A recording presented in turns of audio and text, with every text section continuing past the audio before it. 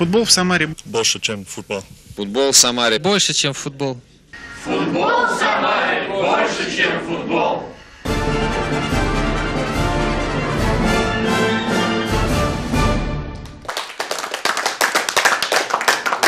Здравствуйте!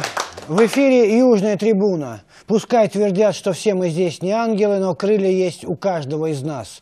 Крылья продолжают играть. Все мы знаем, что в последнем матче они уступили «Локомотиву 0-1». Все равно наступает новый период. И в эфире «Южная трибуна». И мы приглашаем сюда, на «Южную трибуну», футбольный мяч. Вот Евгений Гицко заходит, но он постоянный наш эксперт и гость. А мы приглашаем сюда на «Южную трибуну» старшего тренера профессионального футбольного клуба «Крылья Советов» Владимира Шкребу.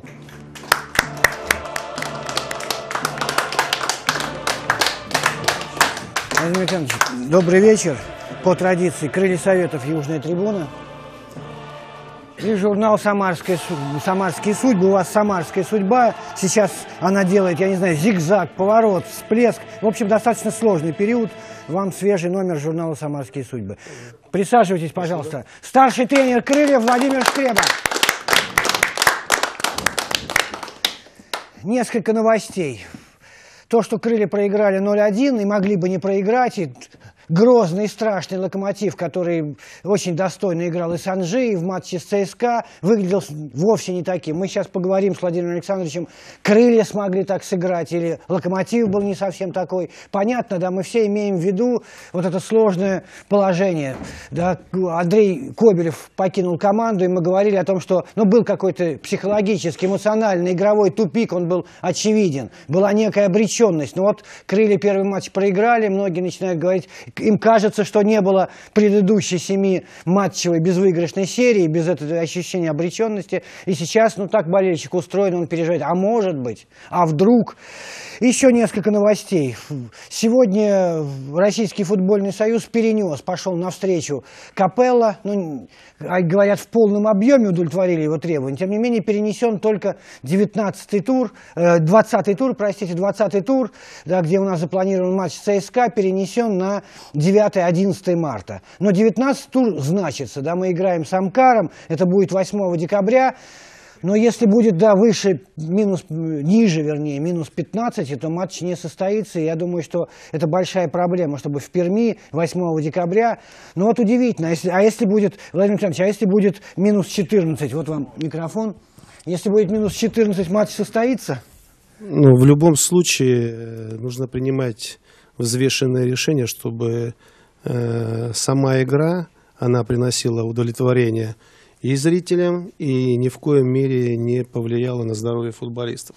Посмотрим, что будет в этом предпоследнем туре, и тогда будем принимать решение.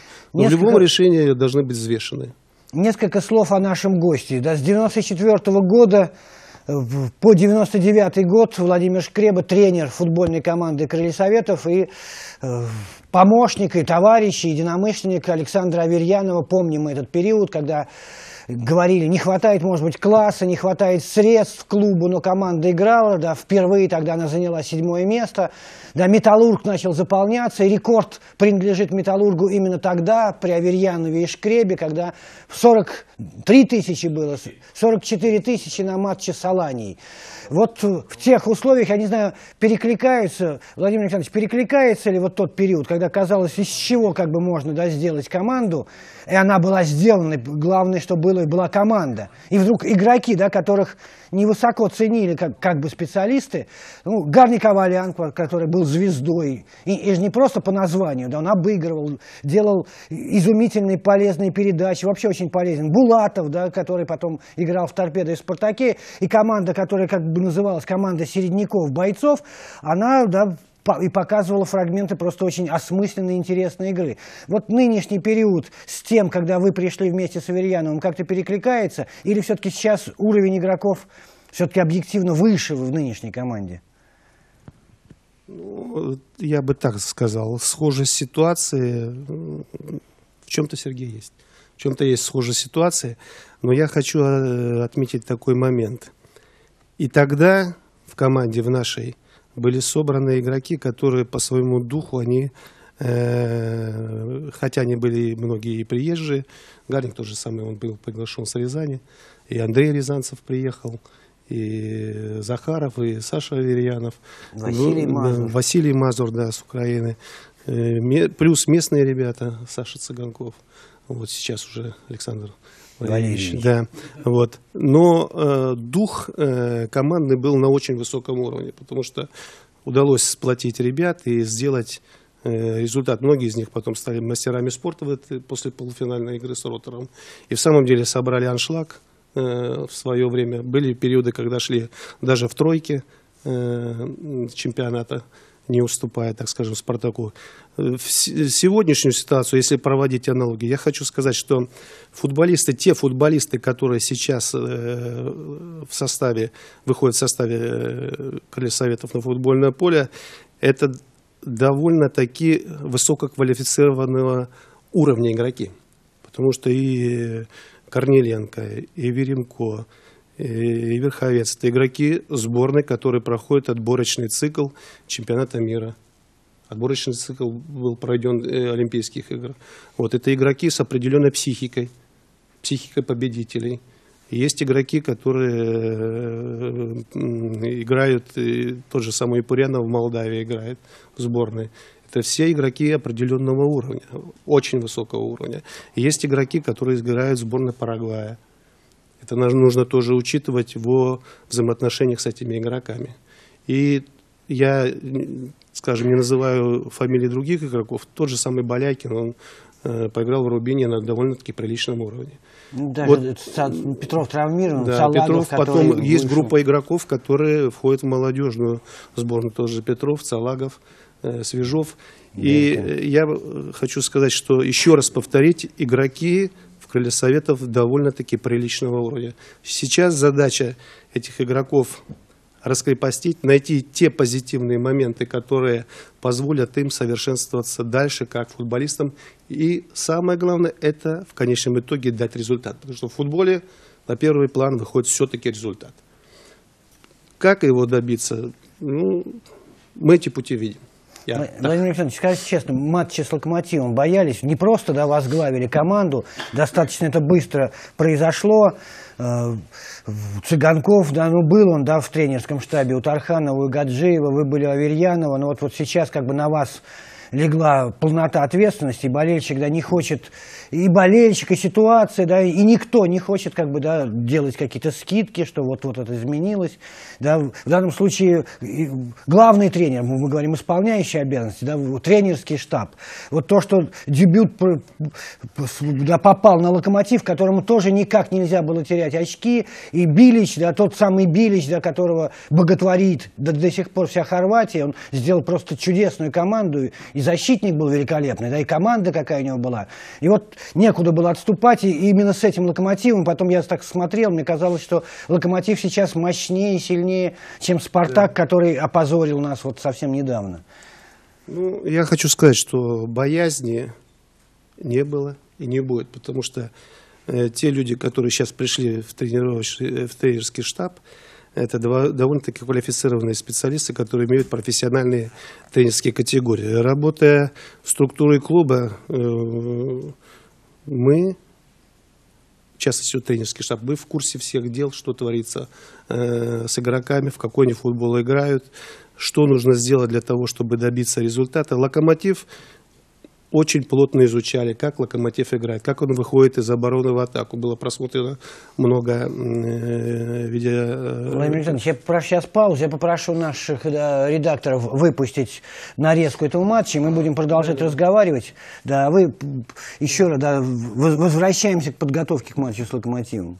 Да ну вот этот момент, вот посмотрите, какая ошибка, это Иван Таранов, да? Да, Ну, здесь э, неудачно Бруно там вот подскользнулся, и два центральных защитника не должны были, конечно, страхуя друг друга в центральной зоне, этот момент предотвратить, но э, не сумели. Потом игру все-таки выровняли, потому что, э, изучив игру Локомотива, мы поняли, что этой команде нельзя дать разбежаться. Если бы дали разбежаться Ещенко, Григорьеву, э, Самедову- Пенальти был здесь? На мой взгляд, был пенальти, Ну, был да, контакт да, с ну, игроком. встал ногу, да, и был руку и контакт с игроком. С, с другой э, пленки видно, что был контакт с игроком. Ну и вот э, здесь тоже было, да, явное нарушение. Да, Там- здесь, ну, минимум нужно было давать штрафной. Минимум нужно было давать штрафной, но это рефери принял такое решение. И вот, да, вот тоже хороший момент. И изучив игру Локомотива, возвращаясь, мы этой команде не дали, э, так скажем, сыграть в ее игру, потому что э, даже с- статистические показатели, которые после игры у нас хорошая информационная служба работает, аналитическая, показали, что э, около 800 э, технико-тактических действий сделала и та, и другая команда. То есть с Локомотивом сыграли на должном уровне. Единственное, что вот надо сознаться, проспали этот эпизод в центральной части. Нужно было страховать двум центральным защитникам. Но ребята об этом знают, мы с ними уже разговаривали и смотрели пленку. Владимир Александрович, ну вот да, две как бы проблемы, которые видны были по этому матчу. Команда достала впервые, да, игроки шли в дриблинг, да, средний, мелкий, длинный пас был, пытались разыгрывать, но вот не хватало, да, мощи, дерзости в атаке, и понятно, что, да, все-таки ясно, Свежов очень старался, да, несколько, не- несколько остроумных было передач даже между ног, там был пас, но э, вот того, что называется креативным игроком, да, диспетчер ли он, конструктор, плеймейкер, способный так играть, вот очень остро не хватало, не, не хватало в этой игре. Да, в, в атаке э, в самом деле не хватало мобильности нам, но э, сейчас будет играть у нас э, Кабальера. Кабальера, вернулся со сборной, да, э, пропускал еще там по карточке. И я думаю, что э, в паре с Сергеем Корнеленко атакующий потенциал команды будет увеличен. Мы работаем над этим, потому что э, в самом деле в атаку нужно добавлять. В атаку нужно Э, добавлять. Владимир Александрович, вы знаете, да, всех игроков, да, Сибальес гораздо больше забивал у себя в Парагвае, чем Кабальера, да, и он такой забивной игрок. Вот в этом качестве мы можем его увидеть? Конечно, вот что он сейчас переживает вообще, он несколько матчей Ну, он пропустил. отнесся очень профессионально. Вот я за ним в тренировочном процессе наблюдал. Э, Даже в силу того, что он не вышел э, на замену, э, на следующий день тренировка, игрок ведет себя очень профессионально, отрабатывает все полностью то, что предложено тренировочной программой. И самое главное, эмоционально ребята, так скажем, мы с ними очень много говорим. И в частности с парагвайцами объясняем ситуацию. Вот, и то, что он профессионально отреагировал на это, это делает ему честь. Э, Проблем никаких нету с этими игроками. Левый нападающий Крыльсайдов Анатолий Фетисов. Вы знаете, сказали раскрепостить. Ну, это общие слова. А чего раскрепостить их надо? Какие оковы надо снять с них? И как вы это будете делать? Что им мешает сейчас? Что им мешало для этого? Ну, чем они закопчены? Прежде всего, э, давит, конечно, груз поражений, потому что проиграть столько игр, поражение никогда не э, добавляет положительных эмоций футболистам. Вот. Только победа может вывести э, эмоциональное состояние игрока на более э, другой уровень и двигаться дальше. Поражения, конечно, отложили э, напечаток на э, психологию игроков. Сейчас мы пытаемся их э, вывести с этого состояния. Ребята нас понимают. Самое главное, что меня радует, что они поняли ту э, систему игры, которую мы им предлагаем. А вы же пер- не выйдете за них и не, не принесете эту победу. Да. Они должны их принести, эти победы. Конечно. Так и- вот как они будут выходить? И- игрок, игрок, игрок, тренер отвечает за результат, а игрок отвечает за свою игру. Это э, общепринятая истина в футболе. Э, По самоотдаче к ребятам претензий, вот по этой игре, которой мы руководили, по самоотдаче претензий к ребятам нет. Другой момент, что где-то нехватка исполнительского мастерства в завершающей стадии атаки, но я думаю, что э, мы все равно добьемся этого, что команда будет играть в более мобильный футбол. И я еще раз повторяюсь, потенциал у этих игроков играть именно в такой футбол, он у них есть. Олег Васильевич. Владимир, я хочу вас вернуть в 90-е годы, и чтобы вы вспомнили, вы пришли в крылья Советов уже защитив кандидатскую диссертацию, да? Да, по вот футболу. э, напомните, какая тема была, и что вы брали из этой кандидатской диссертации, какие исследования, и воплощали их в жизнь, вот, в тренировках. Давно, ну, давно это было, но тему помню, 20 лет конечно, точно методика подготовки футболистов высокой квалификации в соревновательном периоде. То есть это непосредственная работа связана с подготовкой команд мастеров. Тот уровень знаний, который я получил в аспирантуре, защитив диссертацию, мне помогает и по сегодняшний день в плане э, моей профессиональной работы. Это и планирование, организация тренировочных нагрузок, и определение уровня физической подготовленности игроков. Но самое главное, это на современном этапе тренер больше должен быть психологом. Вот, вопрос психологии были у вас? Как Где? сейчас? Ну, в кандидатской диссертации. Нет, нет, нет. Психологию игрока можно э, понять э, тогда, когда ты непосредственно с ним общаешься.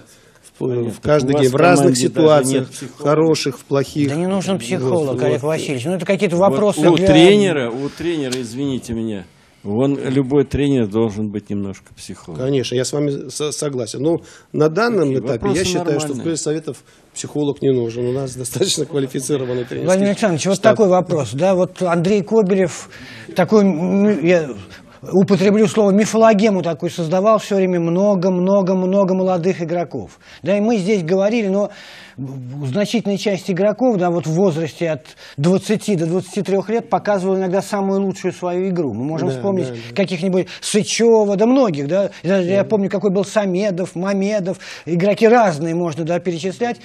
Вот э, здесь вот психологически можно, и, и они как бы стали молодыми. Вот, вот Андрей Николаевич говорил, да почему бы тому же Цагову, у которого были такие задатки лидера, он совсем иначе играет э, в молодежной сборной, у него есть удар, есть и дриблинг, да тот же Свежов, да вот и, и- и тот же Делькин был совсем другой. Вот здесь вот есть проблема психологическая, чтобы они играли как последний, но если они сейчас не будут блистать, то зачем нам нужны, вот мы говорим всегда, да, мы приглашаем легионера, чтобы его уровень был выше среднего уровня. Но т- ведь то же самое касается молодых. Ты можешь попасть в команду, да, где есть взрослые игроки, только если у тебя есть какие-то качества выше, чем у других. А здесь у нас мы как бы да, готовы говорить, он молодой. Ну, э, я бы ответил на этот э, вопрос так. Вот сейчас сама ситуация, само время, оно подвело игроков, крылья советов, что скидки уже делать э, нельзя. Ни на молодость. Э, Если ты игрок молодежной ты- а это э, ближайший резерв национальной сборной, ты проходишь э, отборочный цикл чемпионата Европы по молодежи, то естественный спрос с тебя э, по полной программе. Потом, когда э, выходят ребята э, на футбольное поле, там нету скидки. Молодой ты или возрастной игрок, э, идет борьба за общее дело, за победу. И поэтому э, я знаю, что ребята поддерживают в команде. У нас нет такого разделения. Ну, Ребята я под- помните, какой, какой. Свежов был Да. в «Динамо», в «Луче». Вот мы смотрели, я смотрел э, с большим сочувствием э, за Романом Григоряном. Да? У него есть вот это нахальство, дерзость, Да, он да. играет. Но я знаю, что Свежов в четыре раза быстрее его бежит. Да? И я помню матч тот с Лучом Крылья Советов, когда он замучил там всех, да, а сейчас ну, как бы от того, что Григорян так играет, как будто не потому, что он там выше у него умения значительно, чем у других, он просто позволяет, да, себе так играть. Вот мне кажется, вот это вот пропало, это вот и Анатолию Ивановичу, да, игроки как бы не верят в том, что они способны вот употреблю это слово рвать соперника. Ну, Вот наша задача сейчас, э, и, чтобы у них э, комплекса неполноценности не было. Хотя я этот комплекс неполноценности не увидел сейчас в игроках. Но чтобы двигаться дальше, нужно, говорю еще раз, не, нужно делать скидки ни на что в данной ситуации. Только с полной самоотдачей на футбольном поле, только мобильный скоростной футбол позволит э, добиться результата. И мы к этому футболистов наших ведем. Евгений Гицко. Ну, я могу сказать только э, доброе про футбол с локомотивом. Такого футбола в этом сезоне не было. Команда так не играла. Ну, за исключением первого тайма с «Зенитом». Ну да, да, первый. Но, но здесь, но здесь был весь футбол. Но что вы будете делать с защитниками? Как вы их научите, вот, чтобы они выполняли свои обязанности, и они не падали, или они не засыпали, когда нужно э, следить? Вот это вот обратить внимание. Э, Я понимаю, что это сложно, да? Многие приходят, тренеры говорят, я начну с защиты. Сейчас защиты начинать необходимо ставить, но и нам и впереди игру, да, и в середине нужно ставить. Проблески были, э, двигаться в том же направлении. Я с Сашей вот разговаривал, мы там пообщались, поговорили. Да, нужно им растолковывать, что они сейчас представляют Самару. Не просто они вот, по отдельности, да? Их поблагодарит Самара, если они выполнят все, что нужно. И я вот э, Саше пожелал, чтобы э, остаться ему до конца сезона. А там будет видно. Я согласен с Сергеем Гириско. Он сейчас говорит как защитник. Он играл в защите, он, он понимает, о чем он говорит. Поэтому и в самом деле мы очень много сейчас говорим с игроками обороны, потому что надежность в обороне это прежде всего. Э, Мы пропускаем очень много, провели сейчас анализ, мы около 80% пропускаем после стандартов или же после того, как э, мяч вы- вы- выносится со штрафной и нету подбора. Но кроме этого, конечно, защитник, он ценен чем? Это умением отобрать мяч, сделать быстрый скоростной пас в среднюю линию и при, это уже, конечно, идеальный вариант, это еще поддержать атаку. Но сейчас мы и со всех игроков обороны требуем прежде всего это надежность игры в обороне. То есть, если мы играем э, зонный метод игры в линию, то есть играть не по воздуху, есть такой термин, а играть надо уметь и в линии надо уметь играть по игроку. Вот это считается э, высшим проявлением, скажем, э, квалификации защитника. Суметь в линии сыграть по игроку.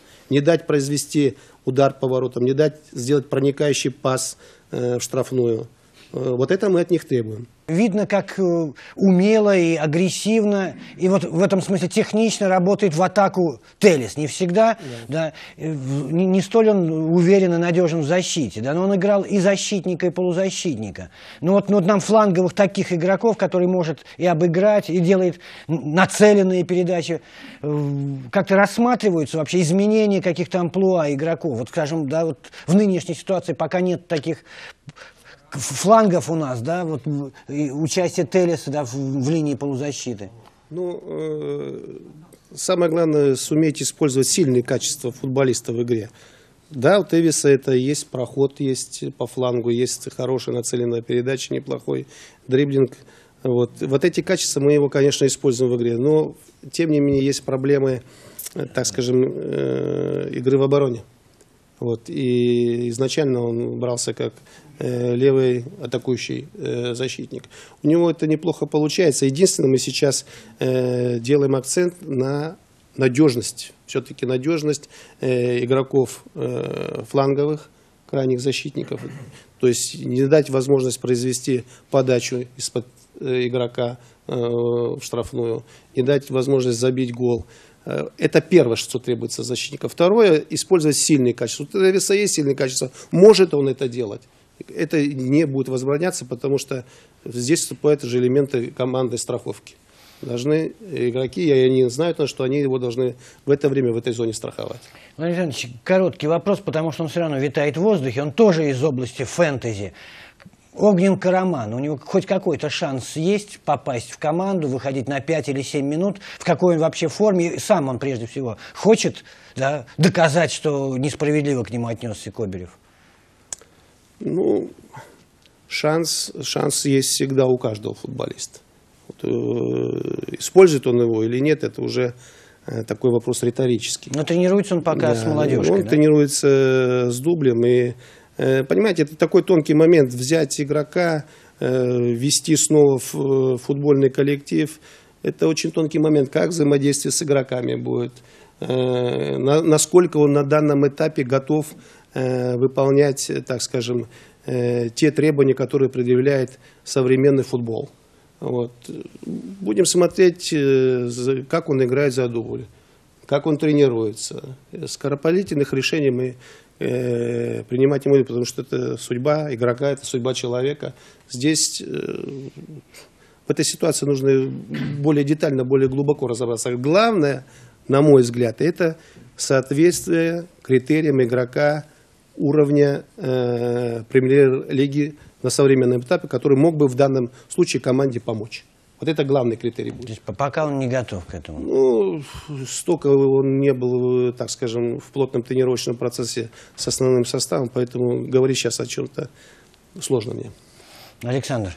Я хотел бы вот поблагодарить, Владимир Александрович, через вас команду за игру с «Локомотивом». Видно, что Я передам э, ребятам, да. именно команду, не набор на- игроков, как вот предыдущий тренер выразился. Впервые, наверное, не впервые, а как вот возвращение какое-то. Да? Э, э, за многие месяцы трибуны почувствовали команду, за многие месяцы трибуны поддерживали. И вот это, что, что не хватало давно Самаре, возвращается. Да? И приободрить. Не сразу все получается, у нас сразу все желание побежали, теперь побеждать, но тенденция видна. Да? И хотелось бы задать вопрос такой, что сейчас своеобразный такой триумвират получается, тренерский штаб. Кто вас пригласил и каковы ваши функции в этом коллективе? Ну, э, произошло назначение Александра э, Цыганкова исполняющим обязанности главного тренера. Естественно, он, э, посоветовавшись с руководством клуба, сделал выбор в пользу тех э, людей, которые сейчас работают в тренерском штабе. И пригласил. Потому что, я еще раз повторяю, все те э, тренеры, которые входят сейчас в тренерский штаб, все профессиональные тренеры, все имеют соответствующие тренерские лицензии профессиональные. Единственное, вот, э, тот вопрос, о котором, с которого вы начали, э, о том, чтобы донести до ребят, я хочу сказать, что наша задача тренеров, кроме того, что мы, так скажем, ставим игру, э, занимаемся организацией тренировочного процесса, довести до игроков еще нужен один аспект. Никто не убирал э, такой э, момент в жизни футбольной, как клубный патриотизм. Донести до игроков, которые бы, любые игроки, которые приезжают э, в крылья Советов играть за этот клуб, что такое ромбик крылья Советов, что за этим стоит, какая история, э, какие традиции стоят, что это самый, один из старейших клубов России. Вот, и за этот клуб э, я не призываю, что нужно там умирать, ложиться костями, Ну но да, показывать достойный быть. футбол, достойный футбол, достойный этого клуба, нашего клуба Крылья Советов, достойный футбол и отдаваться в каждой игре.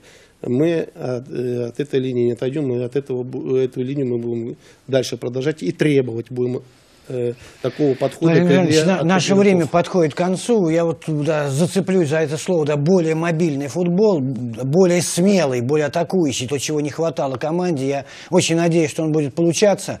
Андрей, если очень кратко... Коротко по игрокам. Стив Жозеф Реннет и Верховцов. Трое они были травмированы. Как их здоровье и будут ли они готовы к матчу с Кубанью?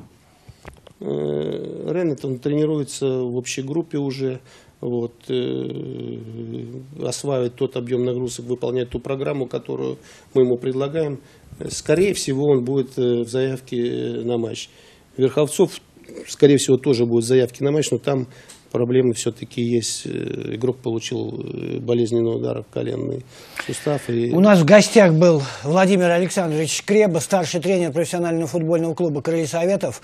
Мы могли бы пригласить сегодня Александра Валерьевича, но все-таки решили, пусть он сосредоточится на игре, да пусть все-таки э, сконцентрируется. У него настоящее испытание. Очень хочется, чтобы у нас появился после Карпова, Кирша настоящий большой тренер. У него есть для этого все возможности. А я хочу большое спасибо сказать болельщикам. Все-таки, честно говоря, было страшно еще сколько зрителей придет. Они таяли. То, что пришло больше 10 тысяч зрителей в понедельник в очень неудобное время. Это говорит, что нам нужны крылья. И я надеюсь, что и тренеры это точно понимают, потому что они из крыльев, там и воспитанники восхода. И э, Владимир Александрович был в очень важный и сложный период, когда была другая команда, и когда не говорили ни о Лигах Европы, ни о Лиге Чемпионов, тем более.